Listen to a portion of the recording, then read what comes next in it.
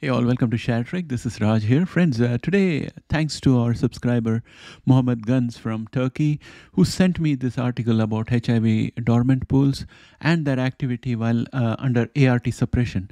It makes interesting read and though uh, more research is required as per the paper itself, I do draw some very positive conclusions based on how I understand the study. You can look at my address bar uh, to see the address of the website as I get warnings from YouTube uh, if I put a hyperlink in the description. I still do not completely understand their hyperlink policy. Once I do, I'd be able to put the appropriate hyperlinks in my description. But for now, when I talk about the study, I will uh, show you the website itself. So with that said, uh, I think uh, let's get started.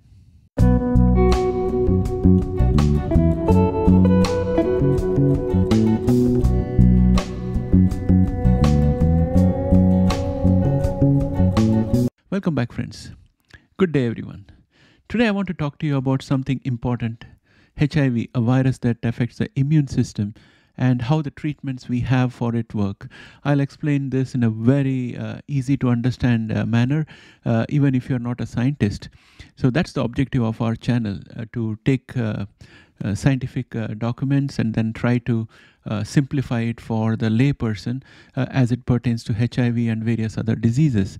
Uh, so first let us talk about hiv it's a virus that can weaken the immune system making it harder for the body to fight off infections.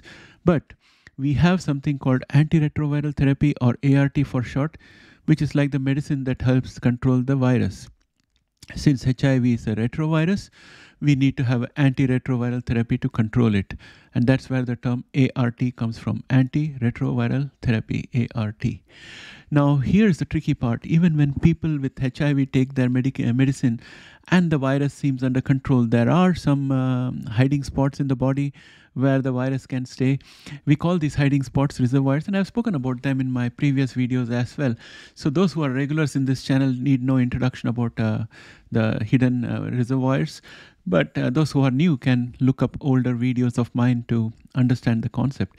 Imagine these reservoirs as hidden bunkers where the virus can hide out. This is why we say that HIV is a tricky virus because it doesn't completely go away even with treatment for a long time, scientists thought these uh, these reservoirs were quiet and not doing anything, but there is some uh, exciting new research that tells us otherwise. Uh, here is a, a, source article on the screen, as you can see here. Uh, I read through the article, and what I'm about to explain comes from there. Two groups of uh, researchers recently found something surprising. They discovered that in some people with HIV, even while they are on uh, treatment, these hidden reservoirs can suddenly wake up and start making parts of the HIV virus. It's like these bunkers in our uh, analogy suddenly opening up and producing something. Now, you might wonder, why is this a big deal? Well, it's important because um, this activity can affect how our immune system responds to HIV. You see, our immune system is like our body's uh, defense system, it fights off viruses and infections. But when these hidden reservoirs start uh, making parts of HIV virus again, it can confuse our immune system. Our immune system uh, thinks there's an attack happening, so it tries to fight the virus. But here's the catch. The parts of the virus these reservoirs make are mostly like broken pieces. Uh, they can't make a whole virus but they can still cause some uh, trouble. This might lead to inflammation in the body. Um, i think uh, um, i would describe the inflammation as a sort of uh, alarm uh, that can sometimes cause health uh, problems like heart disease or uh, bone issues. Now, one more thing uh, this research also showed is that different types of immune cells can carry the these hidden HIV reservoirs. It's not just one specific type. They are found in various types of immune cells, uh, there being uh, these kind of activities. Lastly, researchers found differences between people they studied. Even though all had hiv uh, some had more active reservoirs than others. This means that there's still a lot we need to learn about how hiv behaves in different people.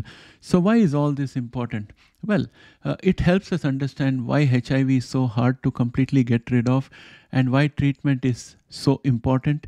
Uh, it also gives us clues about how to improve HIV treatments in the future. In conclusion, this research is like shining a light into the hidden uh, bunkers where uh, HIV hides. It shows us uh, that even when one is on treatment, one needs to keep a close eye on the virus and keep working on uh, better ways to fight it. HIV is a complex uh, puzzle, but with research like this, we are getting closer to solving it and making life better for people living with HIV. Now, I would like to distill in my own words uh, the part of uh, this entire research. Um, of course, uh, it's not what is mentioned in the research, but this is my conclusion based on what I have read and what I have understood from previous studies that I did to make other videos, uh, whether it is for EBT or AGT or any other uh, therapy. So, what I'm thinking is that when the HIV uh, virus is intact, those dormant cells um, stay dormant while under ART. They don't do anything at all. But where uh, the immune cells have got defective blueprints of HIV virus uh, in the dormant pools, uh, they behave differently. They do not understand that ART is um, uh, in operation, so they have to stay dormant. Instead, they continue producing defective um, protein and defective RNA, incomplete HIV uh, viral particles, and release it into the body as a result of which the immune system continues fighting them. And uh, this kind of uh, overheats the immune system and also causes unwanted side effects, uh, which, um, which we may call as uh, side effects of uh, being under ART. And if uh, those side effects can be controlled, and if we can prevent these defective blueprint virus sitting in those hidden pools somehow from replicating fragments of HIV and uh, HIV proteins, uh, then we can give a little rest to the immune system and uh, prevent it from getting confused. Uh, and it's also go- going to lead to better quality of life for people under ART.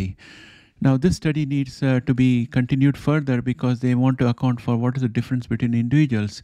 Because some individuals have very heavy activity of this kind and some have very light activity. So, if they are able to uh, if the scientists were able to find the difference between these two categories of people what is the difference the, what is the difference between them? Why one has got less dormant uh, activity and other has got higher dormant activity? Then that can help stop the dormant activity altogether. So there is a lot of promise in this research. There's more research that needs to be done. I know guys you might be saying raj we have been waiting for 4 decades and we still don't have a solution well, I would point out to ART, which is a solution. I would also point out to the fact that we have once in two months ART, and now we are looking at once in six months ART. Well, that's a kind of improvement. And of course, you are going to say that there are side effects, and exactly that's what this research is aiming at to reduce the side effects. So that's my conclusion, uh, friends. And uh, thank you for listening. And uh, if you have any questions or comments, uh, please feel free to uh, use the comment section. However, before I finish, I request you that if you have not yet subscribed, please subscribe and help us touch 5000 subscribers. If you have other friends who are suffering from HIV, please introduce them to our channel so that they can get valuable information. They have a trove of maybe hundreds of videos that they can look at which have already made in the past and build up their understanding and therefore have a better quality of life. Also, as a subscriber, if you like what you're seeing here, uh, please support us by pressing the join button and becoming a member of the channel. With that said, I would like to say bye for now and I'll catch up with you in the next video. See you later.